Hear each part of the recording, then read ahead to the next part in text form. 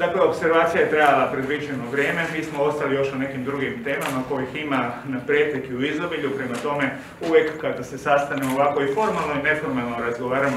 o brojnim temama, prema tome observacija je trajala onoliko koliko treba biti. Da, u uh, je ostalo čini mi se još sedam cijepiva, koji s obzirom da je riječ o AstraZeneca vrijede još dva dana, oni će biti vraćeni u Hrvatski zavod za javno zdravstvo, odakle su došli i cijepit će se, upotrebit će se za cijepljenje po prioritetima kao što je to i do sada. Pravo, naravno da i cijepovo je nezaobilazna tema ovih dana, ali ne zbivanja u Republici Hrvatskoj, nego zbivanja u širem kontekstu, jer stalno su u tijeku svaki dan po dva ili tri sastanka određenih tijela koji se bave pravednijom raspodjelom